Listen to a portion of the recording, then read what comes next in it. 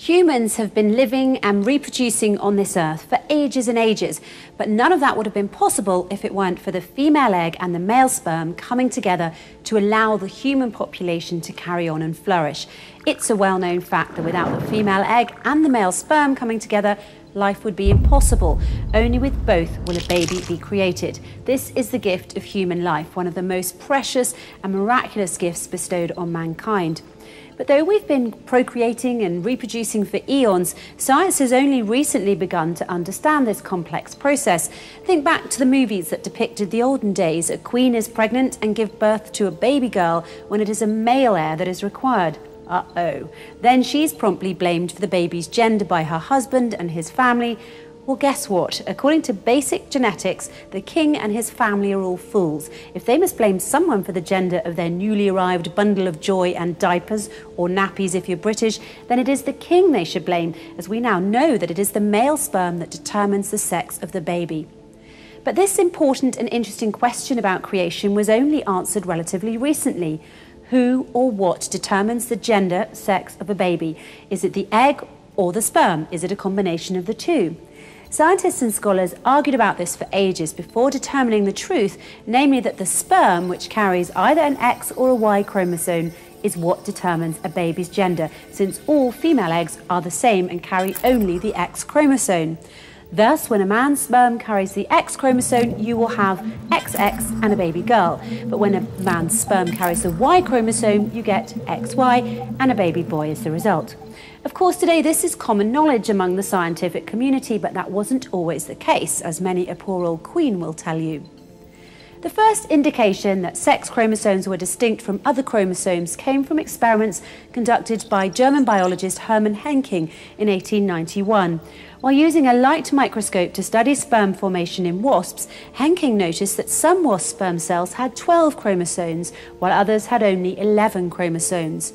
Also, during his observation of the stages of meiosis leading up to the formation of these sperm cells, Henking noticed that the mysterious 12th chromosome looked and behaved differently than the other 11 chromosomes.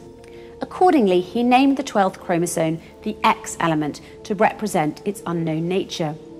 Interestingly, when Henking used a light microscope to study egg formation in female grasshoppers, he was unable to spot the X element. Based on his observations, Henking hypothesized that this extra chromosome, the X element, must play some role in determining the sex of insects. However, he was unable to gather any direct evidence to support his hypothesis.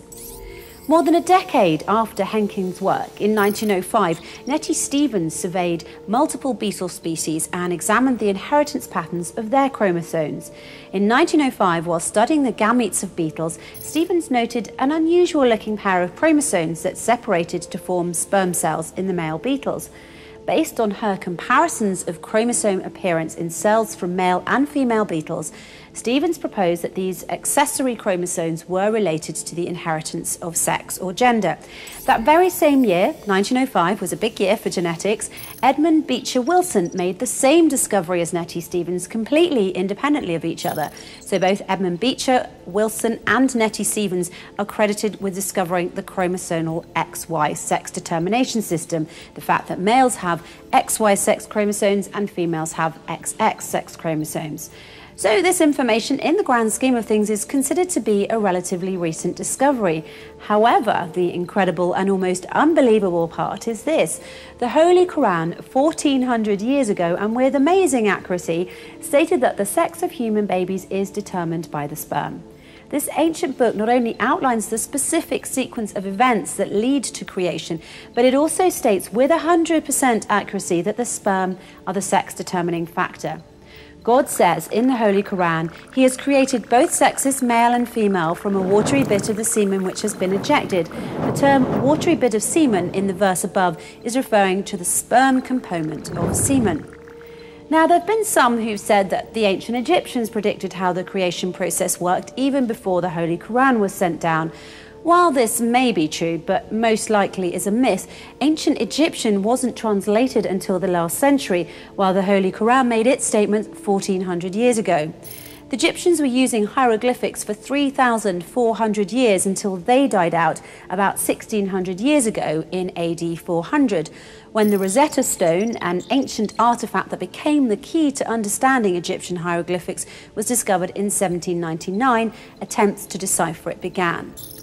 But it was only in 1822 that Jean-François Champollion, a French scholar of ancient languages, announced that he had succeeded in reading the hieroglyphics and cracking the Rosetta Stone by using the Greek language as a guide. This very nicely proves that Egyptian hieroglyphics were not deciphered during the 7th century, the century of the Holy Quran.